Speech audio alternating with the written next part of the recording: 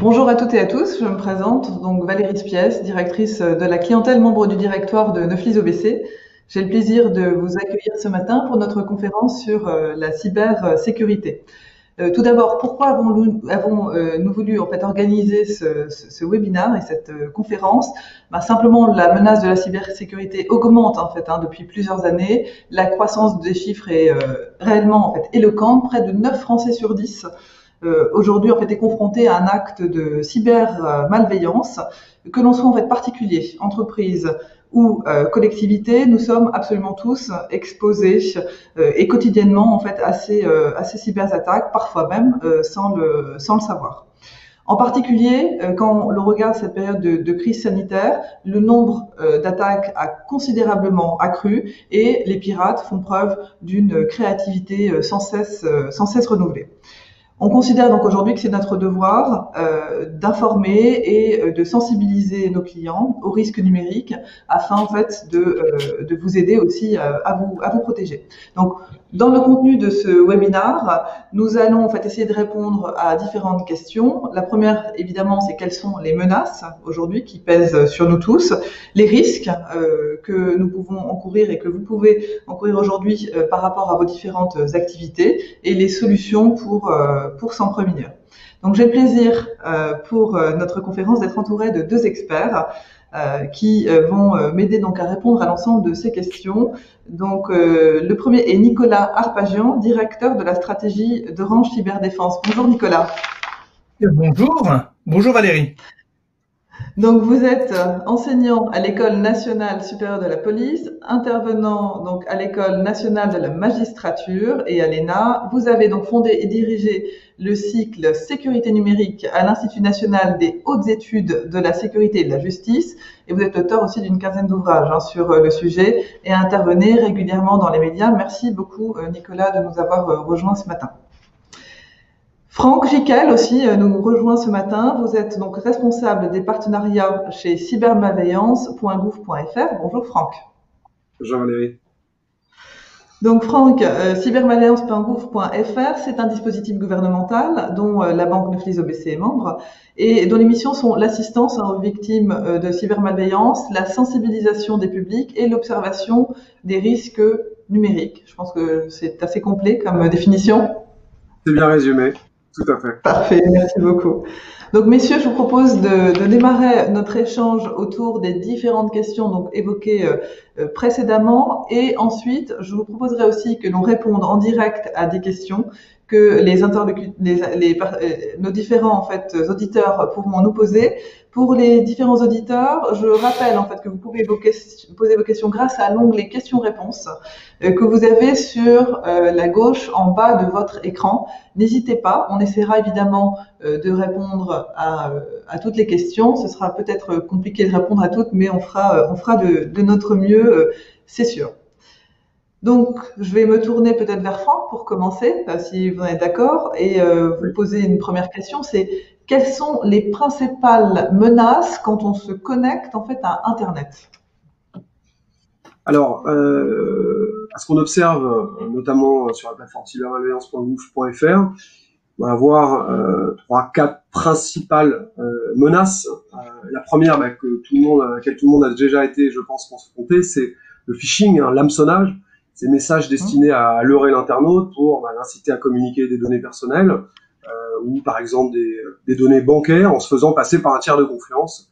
Donc euh, il peut s'agir d'un faux message, mais aussi on le voit beaucoup euh, en ce moment euh, avec euh, les achats sur Internet, des SMS, des appels téléphoniques, de banques, de réseaux sociaux, de transporteurs euh, qui ont égaré votre votre colis et donc qui essayent d'aspirer des données.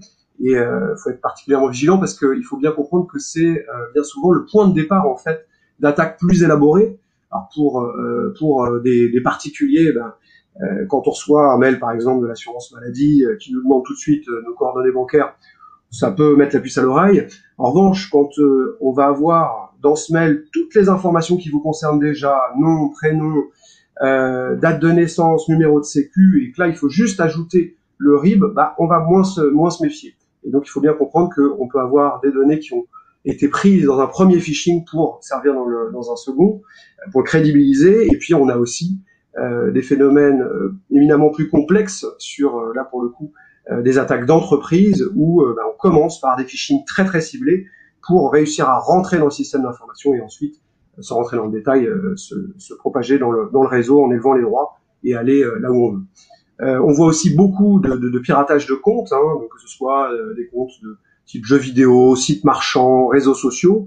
Alors, euh, c'est pas euh, des, des, piratages éminemment complexes nécessairement derrière, et c'est plutôt issu bah, de fuites de données, comme comme par exemple des sites qui auraient pu se voir voler leurs données. Et vu que malheureusement nombre d'utilisateurs ont encore trop souvent le même mot de passe partout, et eh ben ils perdent sur sur tous les tableaux. Et bien évidemment, euh, c'est aussi euh, souvent la conséquence d'un phishing. Enfin, dans les gros phénomènes, on voit beaucoup encore euh, de rançongiciels, hein, les ransomware, ces fameux logiciels malveillants qui bloquent l'accès aux ordinateurs et à vos fichiers, en fait, en chiffrant les données, en réclamant à victime le paiement d'une rançon pour en obtenir à nouveau l'accès, sachant que bah, c'est de plus en plus ciblé. Et puis il y a une nouvelle tendance là qu'on a vue notamment aux États-Unis, qui est à euh, pas que, mais notamment aux États-Unis, qui est à la divulgation, c'est-à-dire que parfois on ne chiffre même plus les données, mais on vous menace de divulguer les données. C'est ce qui est arrivé euh, très récemment au cabinet d'avocats du président Trump et de Madonna, avec quand même une menace de divulgation euh, pour, je crois, autour de, de 40 millions de, dollars. Donc il y a effectivement beaucoup d'enjeux financiers derrière.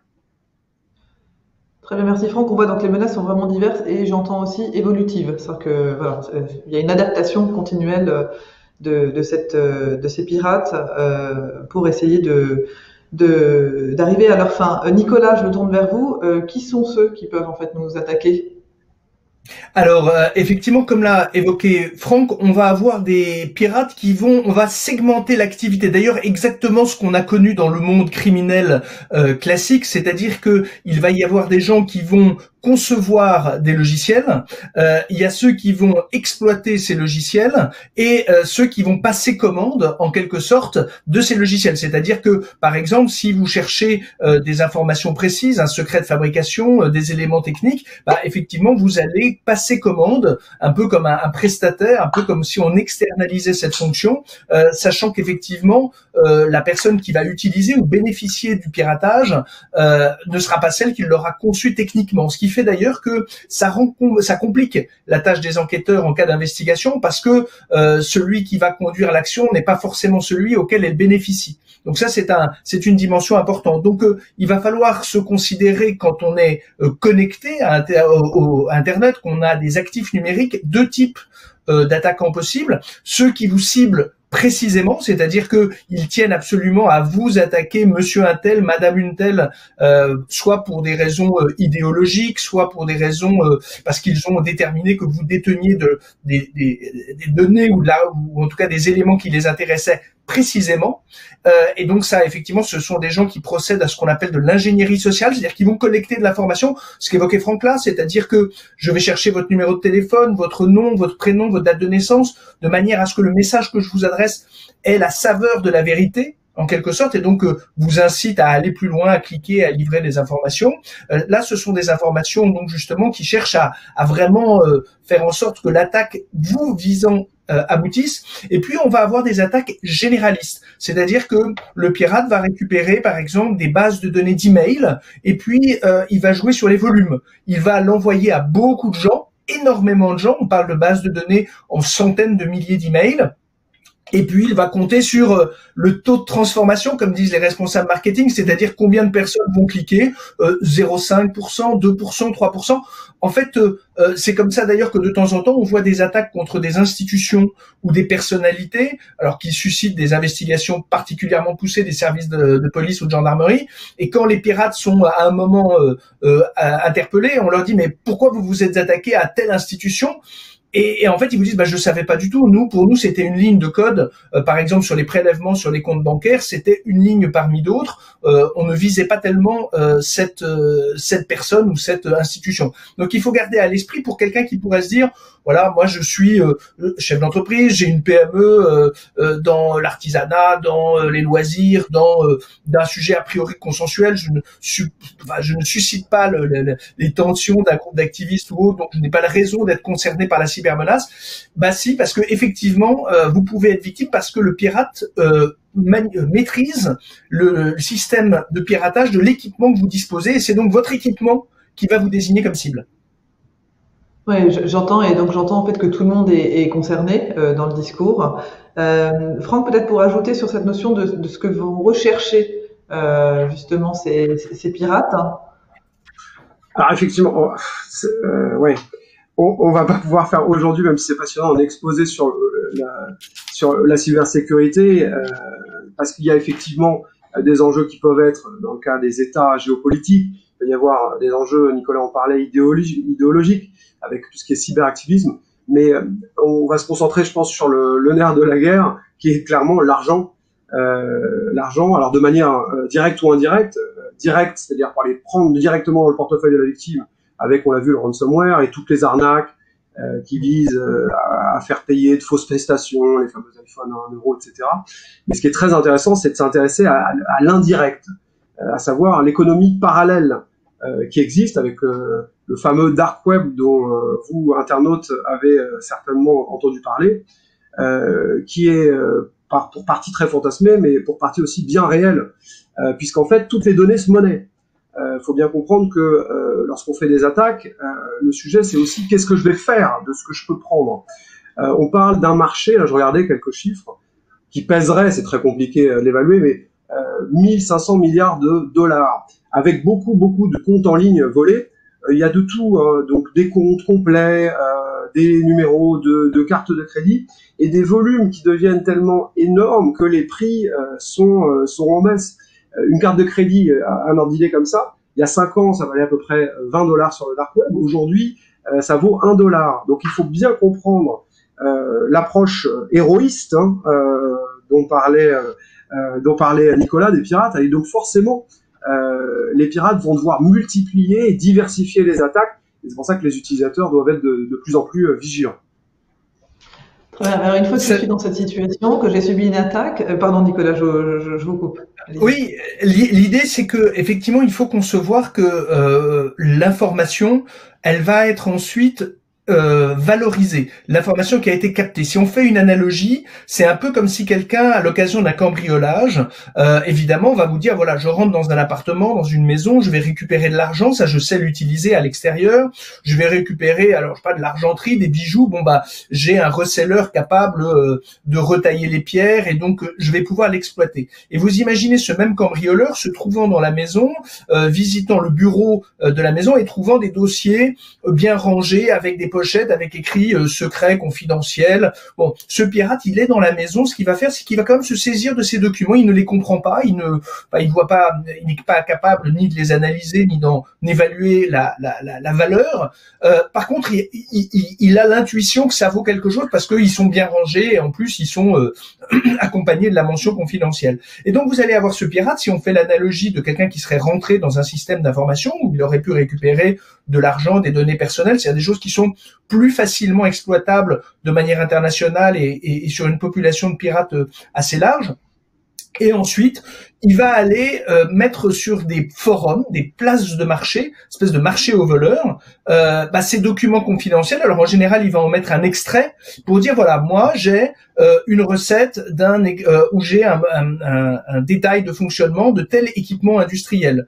j'ai telle recette dans l'agroalimentaire. J'ai telle chose. Est-ce que ça intéresse quelqu'un? Et donc effectivement, il va y avoir mis sur le marché euh, soit sous la forme d'une information à, vendre, soit d'une information à échanger, euh, soit d'une information à offrir euh, de manière un peu comme pour donner des gages de sa crédibilité, de son sérieux. Vous avez des gens qui vont à ce moment-là mettre à disposition cette information qui permettra de, dans la communauté des pirates, de, valoriser leur positionnement et donc la, la monétisation des, des, des, actions ou des données qu'ils vont fournir par ailleurs. Donc c'est vrai que ce qui est, il faut garder à l'esprit que même si vous pouvez vous dire, moi après tout mes données, il n'y a que quelques personnes qui peuvent les utiliser ou elles ne sont compréhensibles que par quelques-uns, bah, en fait on s'aperçoit que même dans des domaines très techniques, très complexes, il y a toujours un moyen de voir réapparaître ces informations parce que le, le pirate en fait au moment où il est rentré dans le système, bah, ça lui coûtait pas tellement plus cher d'aspirer ces données et de les de les emporter avec lui. Euh, et donc effectivement, on, peut avoir euh, des acteurs qui s'estimaient protégés par la euh, la complexité euh, ou le caractère très limité de pensait-il d'intérêt de, leur de leur sujet, justement qui euh, par des pirates qui sont mauvaises intentions, alors en tout cas pas d'intention délibérée précisément à l'encontre de, cette entreprise, mais sont capables de lui porter des préjudices. Et c'est vrai que le vol d'informations, euh, alors que l'entreprise a investi pour innover, pour euh, soit avoir de l'avance ou en tout cas garder une singularité sur un marché, elle a une expertise, un savoir-faire, bah, effectivement tous ces investissements peuvent être euh, niés peuvent être remis en cause par le fait que euh, effectivement ces données, c'est tout ce travail euh, fait euh, de manière discrète et en prenant chacune des étapes pour le pour le faire dans les bonnes conditions, peuvent être totalement gâchés par le fait d'être rendu disponible à l'extérieur. Et donc c'est vrai que voilà, on, on peut pas miser sur la technicité des données pour se dire euh, personne n'y comprendrait rien, non, parce que euh, effectivement, il n'empêche qu'elle pourrait être mise à disposition du plus grand nombre néanmoins. Oui, ça, ça rejoint le, ce que disait Franck tout à l'heure sur le côté euh, tout le monde est concerné et que là, quelle que soit la, la, notion que nous avons nous-mêmes de la sensibilité de la donnée, en réalité, voilà, il, y a, il y, a, toujours un opportuniste ou un pirate potentiellement qui, qui peut y avoir un intérêt. C'est clair. Est-ce que de ce fait-là, Nicolas, une fois qu'on est dans cette situation, il faut porter plainte hein? Alors, en tout cas, c'est une vraie stratégie. C'est vrai que euh, on va avoir que faire en cas de, de, piratage. Alors, il y a les éléments techniques, très bien, et puis après, il y a la question de la valorisation de ces droits. Euh, souvent, le piratage est, est, quelque chose de complexe. Pourquoi? Parce qu'il est rapidement international. Pour être très euh, euh clair, euh, le pirate a presque intérêt euh, à se mettre euh, à l'étranger, c'est-à-dire dans des pays où euh, si la victime veut porter plainte et sollicite des services d'enquête, des services judiciaires, bah, évidemment nous allons, enfin les, services d'enquête, des services judiciaires vont évidemment respecter le code de procédure pénale. Ça veut dire que elle va être la procédure, l'aboutissement de la procédure va être dépendant euh, de la bonne coopération policière et judiciaire internationale, ce qui pose des questions de disponibilité euh, des magistrats, de disponibilité des traductions, euh, le fait que bah, dans les pays en question, parce que à un moment, des données auront pu transiter par un serveur mais évidemment, il faut investiguer pour savoir si ce, destiné, ce serveur, est-ce que c'est le lieu final euh, d'hébergement et de stockage des données qui ont été volées, ou au contraire, est-ce que ce n'est qu'un lieu de transit? Et donc, à chaque fois, c'est autant de procédures, sachant évidemment que le pirate euh, prendra quelques minutes, quelques secondes pour transférer des données d'un serveur à un autre, et donc d'un pays à un autre et donc d'un système judiciaire à un autre. Et donc, euh, évidemment, quand il va falloir suivre euh, cette, euh, ce déplacement, bah, ce sera d'autant plus complexe et quelquefois un peu dissuasif. Donc, on, va avoir une vraie réflexion sur à chaque fois, et, et, vous verrez dans les, dans les informations qu'on vous a données, qu'on vous donnera et que, que, que vous fournira en, en complément de ce webinaire, on a fait une espèce de nomenclature en fonction de ce qui vous est arrivé. Est-ce que c'est euh, on m'a volé des données personnelles, euh, qu'est-ce que je dois faire? Euh, J'ai un problème concernant une usurpation de ma marque ou de mon nom de domaine, qu'est-ce que je dois faire? J'ai reçu un document qui est manifestement frauduleux, qu'est-ce que je dois faire? En tout cas, qu'est-ce que je peux faire comme procédure de manière à mettre un peu de droit? Juste un élément, il faut distinguer le droit de la technique. Euh, si je, souvent un dirigeant d'entreprise est préoccupé par le retour à la normale, le, back to business, on revient aux affaires. Euh, simplement, si vous envisagez par la suite de mener une procédure, voire éventuellement d'avoir une discussion avec votre assureur pour savoir si euh, vous aviez mis en place des protections qui permettent le déclenchement de la police d'assurance, euh, ils auront besoin d'éléments techniques. Et là, c'est important. Euh, si je devais faire une, une, analogie, et je m'en excuse un peu trivial, mais c'est un peu comme si vous étiez un hôtelier et qu'il y a eu un meurtre dans votre euh, dans votre euh, dans une des chambres de l'hôtel, évidemment le directeur de l'hôtel peut être tenté de dire bon on nettoie et on remet la chambre en location. Pourquoi pas? Simplement ça vaut le coup avant de remettre la chambre en location de faire des des mesures précises techniques qui permettent de figer les éléments de, la scène de manière à ce que quand il y aura des investigations ultérieures, bah, on pourra euh, s'appuyer dessus techniquement et juridiquement et donc judiciairement. Et c'est vrai que on peut être tenté à un moment de dire on efface tout, on éteint tout et on remet à zéro et on repart. Euh, alors évidemment sur le moment euh, pourquoi pas. La seule chose c'est que bah, si on veut conduire ensuite des investigations techniques, voire en vue de mise en cause de la responsabilité, soit d'un prestataire, soit d'un éventuellement d'un possible auteur, c'est-à-dire de quelqu'un qui aurait conduit l'opération, bah, c'est vrai qu'il y a besoin d'avoir de figer des scènes. Par exemple, juste pour donner une indication, euh, vous avez des constats d'huissier aujourd'hui numériques, c'est-à-dire qu'ils vont figer euh, les éléments techniques, les éléments de connexion, de manière à ce que si vous deviez après les présenter en justice, leur véracité euh, ne fera pas de doute et donc vous pourrez construire une procédure et éventuellement ou avec un assureur un contentieux réel. Euh, et là, il ne s'agit évidemment pas de faire uniquement une capture d'écran euh, qui n'a aucune valeur juridiquement parce que euh, elle serait modifiable par n'importe qui. D'accord, c'est clair. Mais j'entends la, la, complexité. Hein. Franck, oui. Mm. Pardon. oui, un, point aussi de l'intérêt de porter plainte pour, pour l'intérêt général en fait. Hein parce que bien souvent, alors là, je pense plutôt à la petite cybercriminalité, mais on, on l'a vu, euh, ça peut être assez assez massif, ça tape un peu partout, c'est pas ciblé et ça peut taper assez largement. Euh, si il euh, n'y a pas de plainte euh, et donc on consolide pas de plainte, il y a tout simplement pas d'enquête derrière, il n'y a pas de phénomène. Donc c'est essentiel aussi, même pour des petites choses, d'aller porter plainte. Quand on se fait voler des choses dans la rue, quand on se fait raqueter ou autre, on a le réflexe d'aller au commissariat. Il ne faut pas banaliser le vol digital. Donc vraiment, c'est important d'aller porter plainte. Alors, je sais que c'est pas toujours euh, évident, mais il y a des moyens. On pourra peut-être revenir dessus. Euh, mais c'est vraiment essentiel aussi dans l'intérêt général de porter plainte pour consolider ces phénomènes et qui passent pas sous le radar. Parce qu'on arrive à attraper euh, les, euh, les cybercriminels et clairement, dans le cas par exemple de la petite cyberdélinquance, c'est pas forcément des cadors. Hein. Ce, ce sont aussi des gens qui, comme le disait Nicolas au début, euh, vont tout simplement acheter des outils développés par des gens bien plus talentueux et eux euh, ne savent pas forcément euh, comment comment se rendre totalement invisibles. Donc en revanche, il faut être capable de mettre de mettre en lumière leurs actes. Et de fait, justement, c'est intéressant. Qu'est-ce que je risque de à, ne pas me protéger en fait, Franck? Alors euh, beaucoup de choses.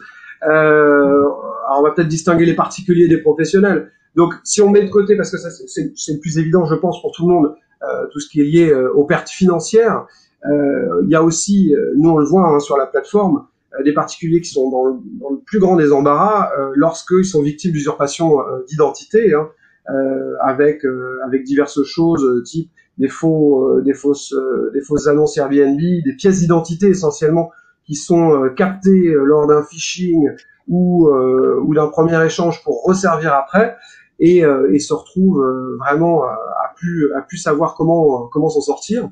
Ça, ça peut être très très compliqué. Il faut être extrêmement vigilant à, euh, aux documents qu'on communique et à qui on les communique.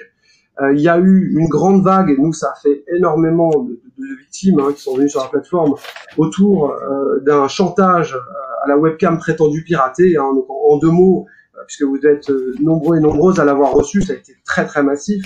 Le pirate envoyait un message précisant que euh, il était rentré sur votre PC, il vous avait vu euh, sur des films, euh, des sites pornographiques et qu'il allait diffuser les vidéos. Et le, le, propos était crédibilisé puisque il vous donnait un mot de passe, alors qui est peut-être un très vieux mot de passe, mais encore une fois, je disais, malheureusement, les gens ne changent pas forcément leur mot de passe et on le même partout. Et donc, bah, ça crédibilisait le propos et on a eu beaucoup de gens très très embêtés. Donc, l'exploitation de la honte, dans ce cas-là, il n'y avait pas de risque, mais il y a malheureusement de vraies sextorsions et là, ça, ça, a des conséquences très très compliquées pour la personne et l'entourage, puisqu'on l'oublie trop souvent. Mais euh, prendre des risques pour soi euh, dans le monde cyber, c'est aussi exposer euh, ses proches, hein, euh, avec des piratages de carnets d'adresses ou autre chose. Donc c'est important d'avoir ça en tête. Et pour les entreprises, on l'a vu dans le cas des, des, des ransomware, dans logiciel, c'est des perturbations ou arrêt total de l'activité avec de vraies difficultés à venir. Hein, à l'état précédent l'attaque. il y a aussi bah, de vrais impacts d'image hein, en cas de défaçage, hein, notamment le défaçage, c'est quand on va remplacer le, la, la, page, la page principale d'accueil de votre site pour aller mettre soit des, des, messages de propagande, on avait vu ça sur certaines collectivités avec des messages de l'État islamique, ou ce genre de choses. Euh, donc là, évidemment, c'est très très très très impactant euh, et, euh, et ça peut être assez compliqué derrière de pouvoir de pouvoir revenir. Et enfin, pour nous tous, au global, l'impact, il serait, dans un cas extrême, bah, une rupture de la confiance numérique. on sait que sans, sans confiance, il n'y a pas de, n'y a pas de business, il n'y a pas de commerce, il n'y a pas d'économie. Donc c'est, c'est important de rester maître de ça. Et puis il y a un enjeu de sécurité nationale aussi. Euh, je veux pas être trop anxiogène, euh, on va vite euh, passer après, j'espère, à comment comment comment se protéger, mais euh, parce qu'il y a des moyens de se protéger. Mais effectivement, et c'est pas un scénario de science-fiction, même s'il est peu probable. Si on était victime d'une attaque massive, ou ne serait-ce que 10% des TPE, PME françaises étaient touchées, eh ben, il y aurait un vrai enjeu de, de sécurité nationale. Donc, il est important effectivement de se projeter de se projeter, de se projeter oui, et de se protéger. Euh, on a tous bien conscience, tant à titre privé qu'à titre, euh, à mon avis, de, l'entreprise. Euh, néanmoins, on n'est jamais assez préparé. Nicolas, les précautions à prendre peut-être? Alors, oui, juste pour compléter le, propos de Franck, euh, la question de euh, qu'est-ce qu'on risque à ne pas se protéger, euh, c'est aussi le fait que ça va devenir de plus en plus euh, un élément de la valorisation économique. C'est-à-dire que, par exemple, vous avez une réglementation européenne qui est donc applicable en France, qui euh, s'appelle le règlement général sur la protection des données, euh, qui va, si vous faites l'objet de perte ou de vol de données personnelles, et vous voyez que une entreprise a très vite des données personnelles, déjà la celle de ses salariés, euh, même si elle ne fait que du B2B, c'est-à-dire qu'elle ne, traite qu'avec d'autres entreprises, elle a déjà en principe celle de ses salariés, et en fait elle peut avoir euh, des sanctions, c'est-à-dire que si elle est défaillante pour la protection des données personnelles qu'elle détient, elle peut être mise en cause. Alors, ce qui est assez euh, nouveau par rapport à un statut de victime, puisque une entreprise qui aurait été piratée jusqu'à présent était considérée comme victime. Euh, là, en plus, elle est certes victime, mais par contre, elle peut voir sa responsabilité mise en cause et être sanctionnée, alors en France, par euh, la Commission nationale informatique et liberté, plus euh, l'ouverture de droits à dommages et intérêts de la part des titulaires des données. Par exemple, euh, une, une entreprise qui aurait plein d'abonnés, euh, qui souhaiterait ce fichier d'abonnés serait piraté, bah, chaque titulaire pourrait éventuellement demander réparation et obtenir des dommages et intérêts. Donc c'est également le, ce qu'on risque, c'est également d'une part de détériorer la relation avec euh, bah, ces acteurs si essentiels que sont soit les clients, soit les collaborateurs, puisque euh, l'entreprise aura été défaillante pour protéger cette information, manifestement. Euh, et puis également, on voit une montée en puissance des agences de notation, Standards Poor's, Moody's, désormais dans les notations qu'ils font des, et l'évaluation des entreprises prévoit une, une interrogation, une, une, vérification du niveau de cybersécurité. de la même manière, quand des investisseurs, vous connaissez les, due diligence, est-ce que euh, j'envisage de prendre une participation dans une entreprise, que ce soit une PME ou n'importe quelle euh, taille d'entreprise, euh, j'ai besoin de vérifier le risque social. Est-ce qu'il y a des contentieux sociaux en cours? Est-ce qu'il y a de la dette fiscale? Est-ce qu'il y a et, bien maintenant, il y a de plus en plus euh, quel est votre état de cybersécurité si je veux prendre des participations? C'est parce que si vous devez subir des sanctions bah est-ce que vous avez provisionné les sommes?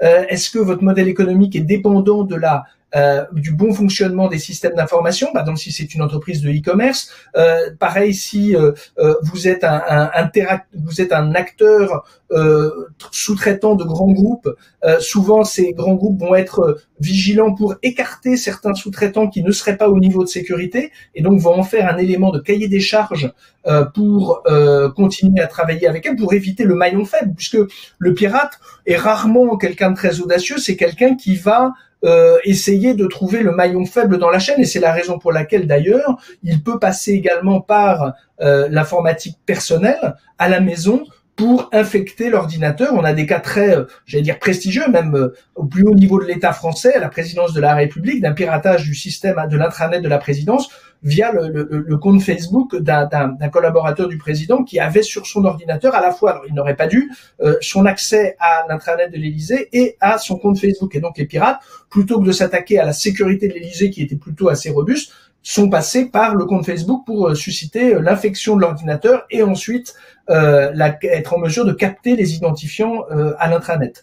Et donc c'est vrai que voilà, il y a, tout un régime pour les responsables d'entreprise, les cadres, les, les, les, les dirigeants, les entrepreneurs, de se dire aussi attention, on va me demander des comptes pour la vie économique de ma société, soit pour continuer à interagir avec d'autres partenaires, soit bah, si à un moment je veux faire venir des financiers, des investisseurs, voire éventuellement à l'occasion même d'une session d'une session d'entreprise.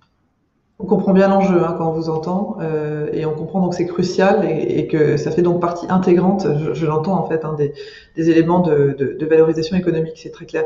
Euh, les précautions de cette là euh, à prendre, Nicolas ou Franck? Alors, peut-être un, mot. En fait, la, première chose déjà, c'est savoir ce qu'on ce qu'on a comme information, où, où elle se trouve et quelle est leur valeur. Euh, c'est-à-dire, par exemple, j'évoquais les données personnelles.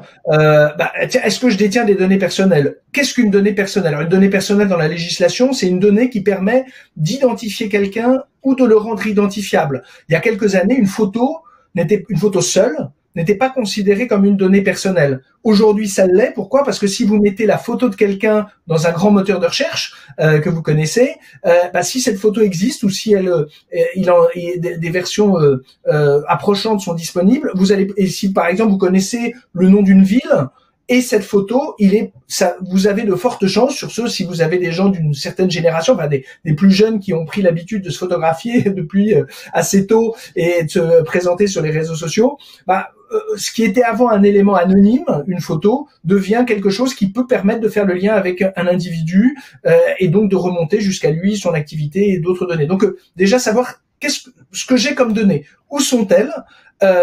Qui y a accès pour y faire quoi? Et qui y a accès pour euh, les consulter?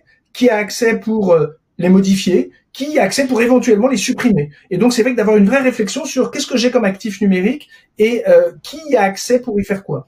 Ensuite de penser à une segmentation un peu comme euh, l'idée de la coque de bateau. Évidemment, avant, vous savez, avant le Titanic, quand vous, heurtiez un iceberg, vous aviez la coque entière se remplit d'eau, le, bateau coule. Bon bah, on a sur ce, les ingénieurs, euh, un ingénieur naval a inventé les, caissons étanches. Pourquoi Parce que s'il y a euh, une voie d'eau, bah, il y a un caisson qui est inondé. Évidemment, la stabilité du bateau est un peu est, est, un peu euh, chahuté, mais globalement le bateau reste à flot et on peut retourner au port. Pareil, donc il va falloir penser à, à, à segmenter ces informations. Euh, ce qui va être une vraie réflexion stratégique, et c'est pour ça qu'il faut pas le faire uniquement en se disant c'est un problème de sécurité, mais c'est aussi une vraie interrogation sur qui fait quoi dans mon organisation, euh, quelles sont les données dont je dispose, tiens comment est-ce qu'on les utilise ou pas, euh, quelles sont les les, les, les, applications possibles de cette fameuse économie numérique de gestion de la donnée? Donc euh, effectivement d'avoir une vraie réflexion sur la valorisation. Et ainsi, on pourra proportionner pour chacun de ces actifs le juste niveau de sécurité, pas quelque chose qui soit dissuasif avec des mots de passe ou des choses trop complexes qui pourraient rendre l'usage quotidien un peu euh, euh, dissuasif, un peu vous savez comme ça se termine ces mots de passe très très complexes qui doivent changer tous les trois jours et à la fin qui se terminent sur des post-it qu'on va coller sur les côtés de l'écran. Il faut trouver un arbitrage entre le juste niveau de sécurité et la vraie vie des collaborateurs et donc c'est important d'avoir une vraie connaissance de l'actif que l'on veut protéger. Et enfin des dispositifs de sauvegarde parce que il faut savoir isoler l'information, la mettre de côté, euh, de manière à ce que si à un moment on n'a pas pu empêcher une attaque, euh, bah, faire en sorte qu'on puisse quand même reconstituer autant que possible, avec le moins de dégâts et le moins de délais, euh, le patrimoine informationnel. C'est clair, je prends que pour ajouter. Oui. Oui, un petit, un petit complément, mais je ne sais pas si tu en as parlé, Nicolas, les mises à jour. Ah, bien sûr, ah Pardon? Oui, vas-y, vas-y. Vas les mises à jour, excusez-moi, oui, parce que nous, nous, vraiment, dans les, dans les réflexes essentiels sur lesquels on essaye de, de communiquer euh, constamment, c'est vraiment effectivement la gestion des mots de passe de manière euh, complète, mais effectivement sans que ce soit euh, sans que ce soit des liens, les sauvegardes, les mises à jour, parce que très très très souvent, euh, à quoi ça sert les mises à jour? Ça sert avant tout à boucher des failles de sécurité. Euh, c'est pas juste, alors c'est embêtant, on, est, tous pareils, on les repousse au lendemain, mais les pirates exploitent en fait ces failles de sécurité avant qu'elles ne soient bouchées, on appelle ça patchées, par, par les éditeurs. Donc c'est essentiel de faire ça, s'équiper à titre personnel d'un antivirus ou de s'assurer que euh, son système d'exploitation s'occupe de cette partie-là, ça me semble aussi important. Et enfin, vraiment, on, cesse de le redire, mais prudence, discernement et vigilance euh, par rapport à tout ce qu'on reçoit. Hein, on a donné quelques exemples aujourd'hui, et toujours aller vérifier l'information à la source. Euh, c'est évidemment plus simple d'aller d'aller cliquer sur le lien du mail qui nous envoie qu'il s'est passé telle opération sur notre compte, mais c'est en tout cas bien plus bien plus précautionneux et, euh, et réaliste euh, de prendre le temps d'aller se connecter sur le site directement et là de rentrer son mot de passe et, et son, et son. Franck, peut-être pour continuer, euh, qui je contacte euh, si euh, j'ai un problème? Alors, il y a, plusieurs niveaux de, réponse. déjà, si on ne sait pas par où commencer, la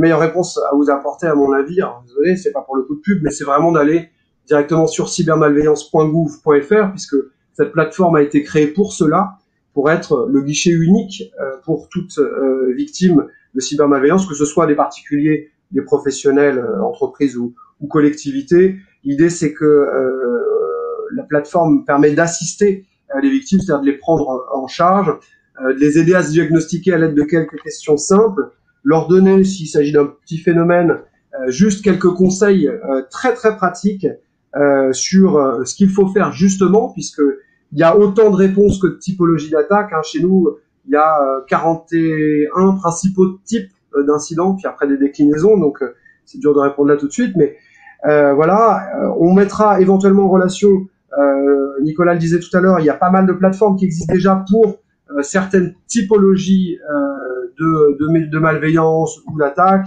Il y en a pour les contenus malveillants, il y en a pour le spam. Nous, on a vraiment un guichet unique, c'est-à-dire qu'on redirigera. N'aurez pas forcément à garder en tête toutes ces plateformes-là vers les plateformes compétentes. Et pour aller plus loin, on proposera même de mettre en relation les victimes avec des prestataires de services de leur région pour les aider à remédier à l'incident, puisque euh, c'est euh, bien souvent euh, en premier lieu ce que souhaite la victime. Et on n'oublie pas quand même effectivement la partie la partie plainte si vous souhaitez porter plainte, mais bon, en fonction du phénomène, il y a des cas où de toute façon il faudra absolument euh, le faire puisque même pour des professionnels, votre responsabilité peut être engagée, hein, comme le disait Nicolas. Euh, et là, euh, poste de police ou brigade de gendarmerie. Et pour répondre à, à, la question avant qu'elle ne soit posée, si vous n'arrivez pas dans le commissariat proche de chez vous à déposer plainte pour X raisons qui ne souhaitent pas forcément la plainte, prendre, vous pouvez écrire au procureur de la République qui est obligé euh, de prendre euh, votre plainte sur le, phénomène. Comme le temps court, messieurs, je vous propose de, prendre maintenant, si vous êtes d'accord, euh, les questions des participants. On en a déjà reçu quelques-unes et on va essayer donc, d'y répondre. Pour ceux qui seraient arrivés un, petit peu plus tard et, et qui n'auraient pas eu l'information, donc on peut poser donc les questions directement euh, en bas à gauche de l'écran euh, dans le petit onglet questions-réponses. Euh, de manière en fait à ce qu'on puisse avoir l'information et, tenter de répondre. Alors je, vais en choisir quelques-unes au hasard, avec certaines que voilà qui que je trouve vraiment assez pertinentes. une là qui me vient tout de suite, c'est on a l'impression que les cybercriminels ont toujours un train d'avance. Comment parvenez-vous à détecter les modes de fonctionnement toujours plus élaboré. C'est vrai que on en a parlé, hein, cette, cette course euh, en avant, euh, cette nécessité d'être très rapide. Euh, comment est-ce que est-ce qu'on peut gérer ce, train d'avance contre ces fameux pirates? Je ne sais pas si Nicolas ou Franck ont envie de, répondre en premier. Alors, vous avez raison, l'attaquant, il a le privilège de choisir sa cible, son mode opératoire, et le tempo, l'agenda. C'est-à-dire qu'à un moment, il va conduire des attaques et puis peut-être que euh, s'il fait ça d'ailleurs comme une activité quasi professionnelle, il va à un moment partir en vacances, il va aller se coucher, il va peut-être tomber malade, euh, il va peut-être s'occuper de ses enfants. Et donc vous avez une activité où euh, quelquefois on va essayer de comprendre la stratégie qui se cache derrière. Et puis quand vous avez des gens qui ont quasiment professionnaliser cette activité, en fait, il y a une espèce de routine qui se met en œuvre, euh, et donc avec des horaires de bureau presque.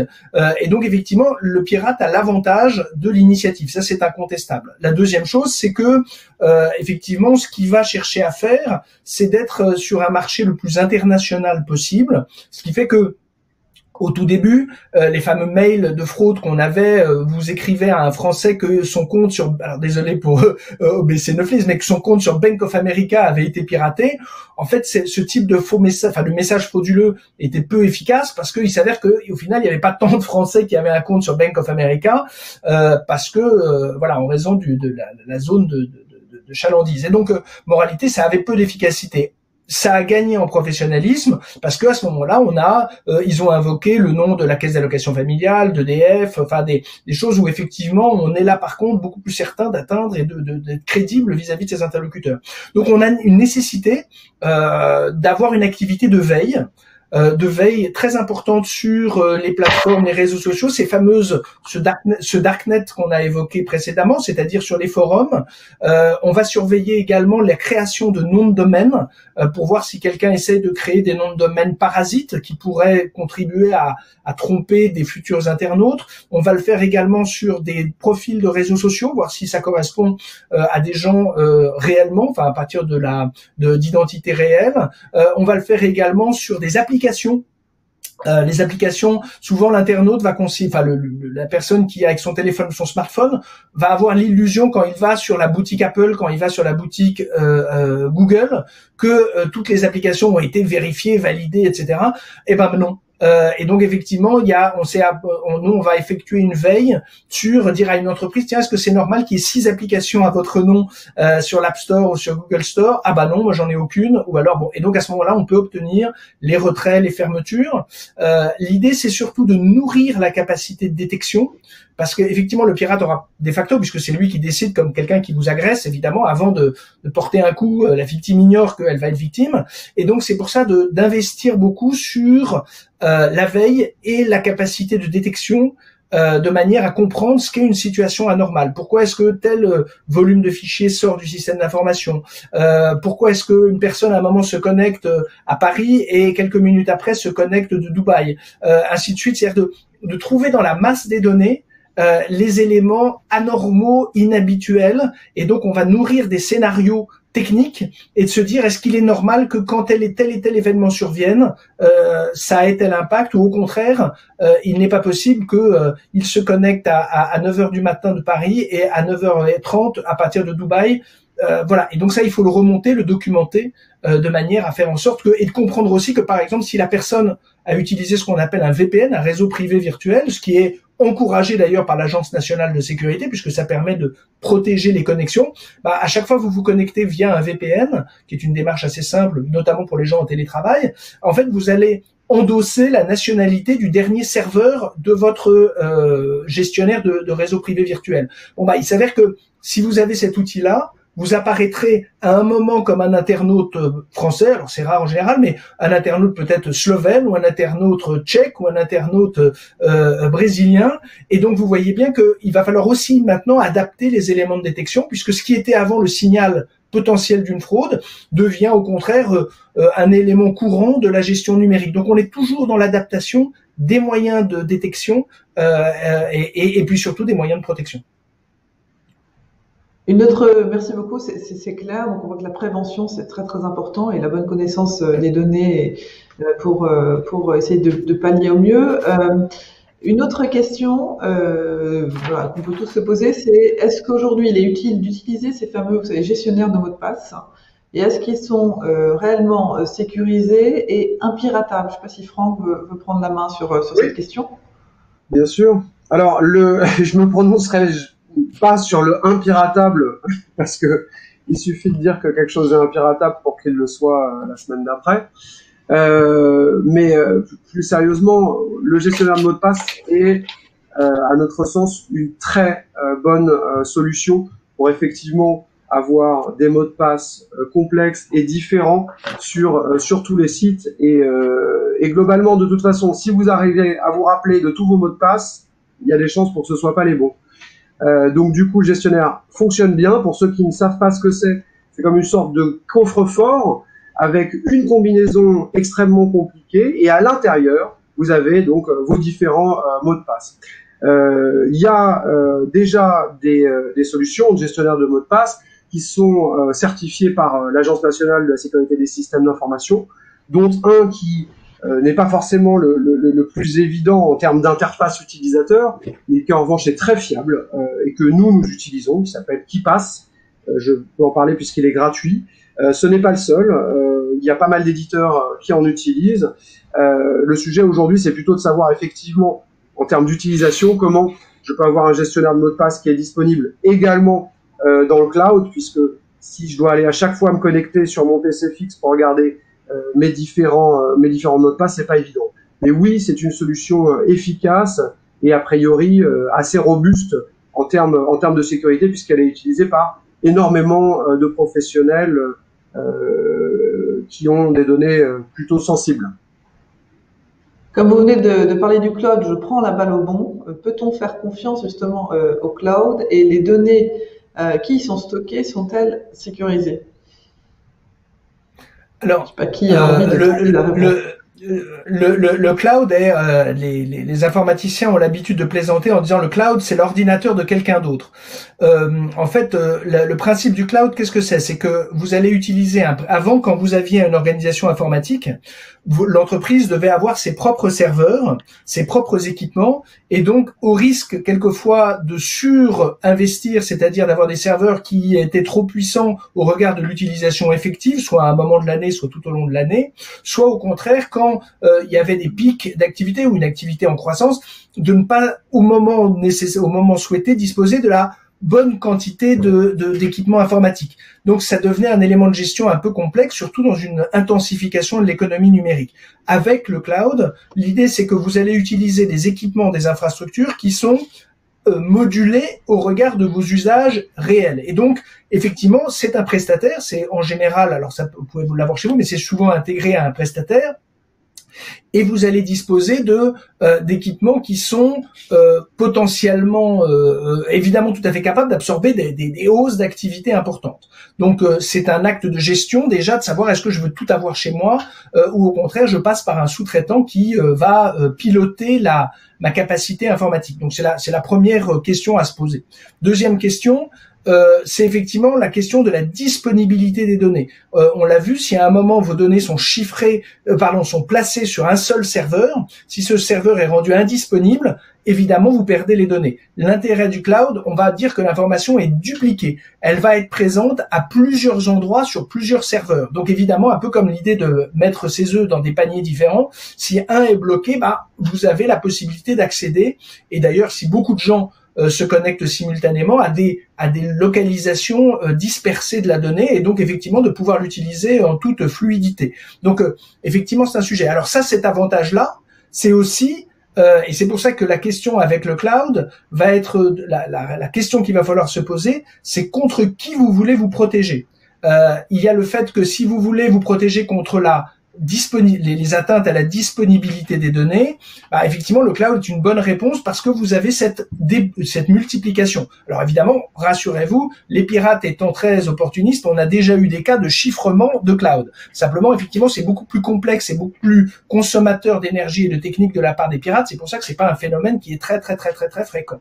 Euh, par contre, va se poser la question pour des entreprises euh, qui détiennent des informations qu'elles estiment très très très stratégiques, d'ailleurs même quelquefois au niveau pourquoi pas de la sécurité nationale ou un élément où elles sont euh, leaders mondiales dans leur domaine et donc elles, elles estiment à juste titre qu'il y a une compétition internationale très forte et une attention très internationale très très très forte sur leurs données à l'échelle euh, sinon mondiale en tout cas internationale la question effectivement de l'application du droit.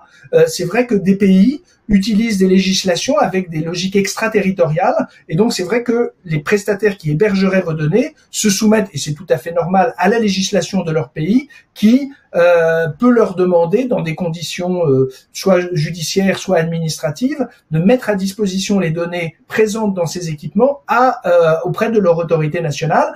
Donc ça va être aussi un des critères de choix d'un prestataire de se dire à quelle législation est-il soumise? Alors évidemment, là vous voyez bien que on ne se protège pas forcément contre des pirates euh, de la sphère criminelle, mais contre éventuellement des euh, prises de connaissances dans un cadre juridique par des États euh, qui, peut qui peuvent être dans la géopolitique des concurrents, des compétiteurs. Donc on va avoir une vraie réflexion qui est de se dire à chaque fois contre qui je me protège et effectivement est-ce que c'est un gage de fluidité de mon organisation? Donc le cloud évidemment ne sont pas des organisations inattaquables. Par contre, elles ont des qualités euh, des qualités pour le faire. Alors après, on a fait en sorte, et alors si on prend l'exemple de la France, de qualifier un certain nombre de prestataires de cloud, notamment pour des informations, alors qu'on qualifie de sensibles, par exemple comme les données de santé, et donc l'État français a labellisé des prestataires qu'il a considérés comme étant euh, suffisamment euh, protégés pour héberger des données qui sont éminemment sensibles, comme les données de santé.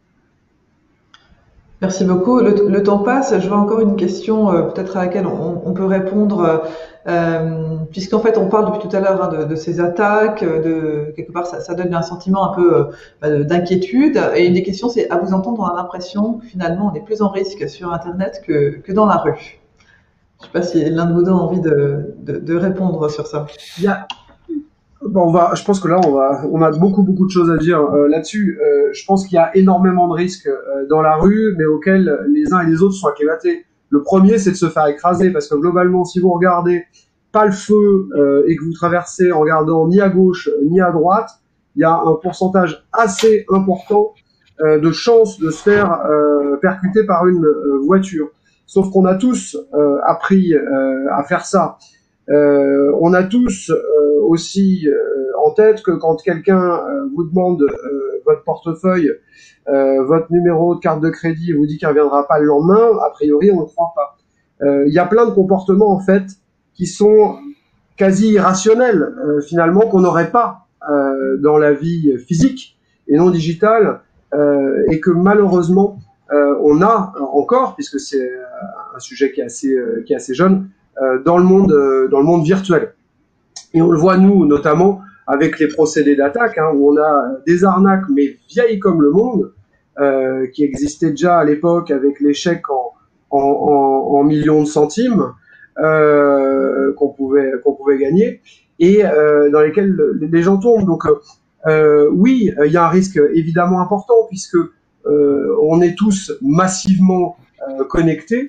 En revanche, euh, ce risque, on peut largement, largement, largement diminuer si euh, on a conscience de ces risques et que en face, on applique les, les, les, les, bonnes, bonnes pratiques, les, j'allais dire les gestes d'hygiène basiques du numérique. On a cité quelques-uns aujourd'hui. Et voilà, il faut que ça devienne en fait des réflexes. Après, ce ne seront plus des contraintes, mais effectivement, il faut rester, rester vigilant sur, sur Internet.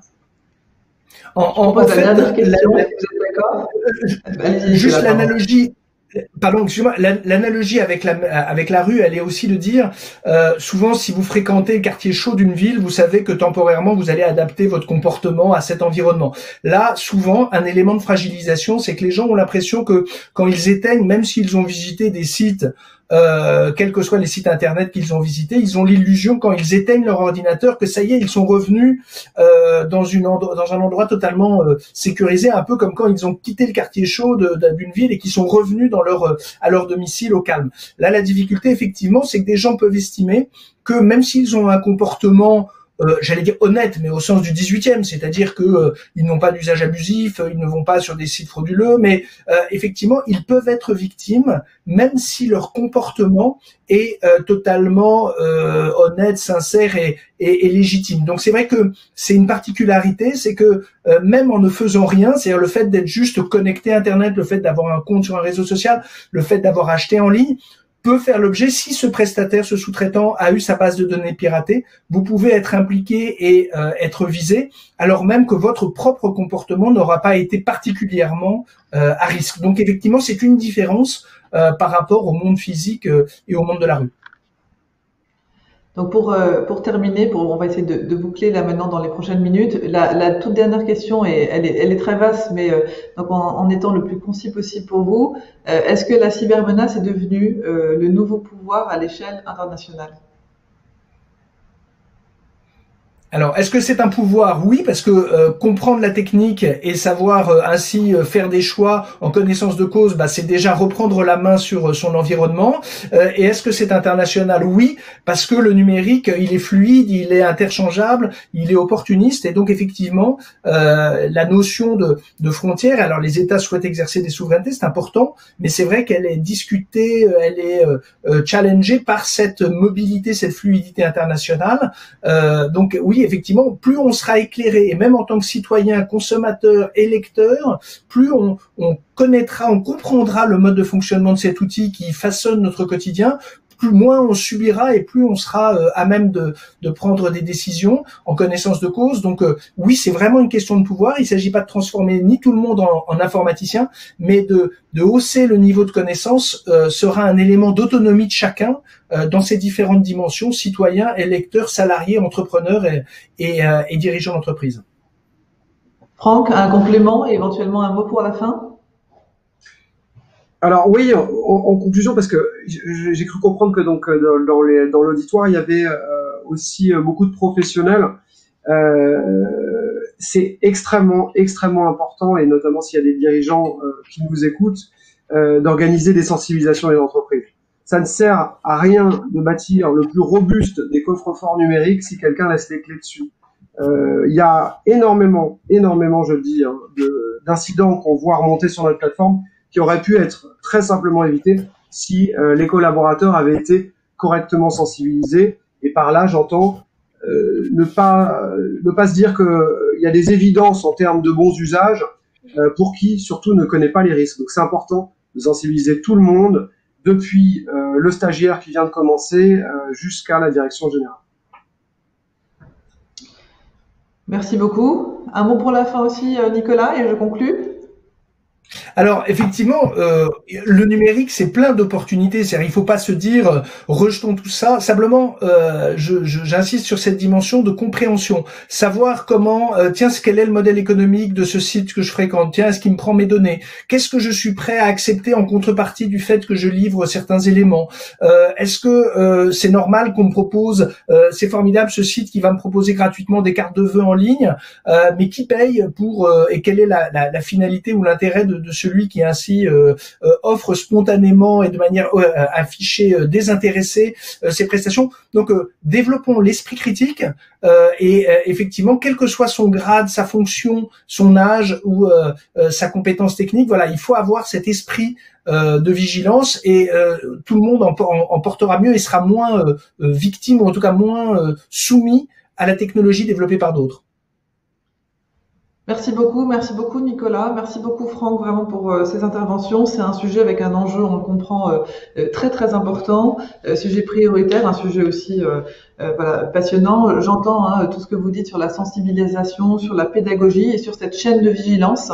Et, et je, voilà, c'est quelque chose qui, qui nous parle bien évidemment dans, dans nos métiers. soyons donc vigilants ensemble. C'est un peu ce qu'on peut retenir hein, de, de, cette, de ces discussions que nous avons que nous avons eues. Euh, et évidemment, euh, pour euh, tous les participants à, ce, à, ce, à cette conférence, n'hésitez pas hein, surtout à nous contacter, contacter votre, votre banquier ou, le service client au moindre doute.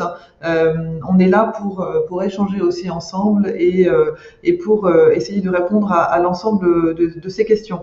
Euh, reste aussi à vous proposer, vous devez le voir hein, dans votre euh, sur le visuel, donc une documentation et des informations euh, disponibles en téléchargement sur sur cette plateforme. Vous allez retrouver plusieurs plusieurs outils très utiles.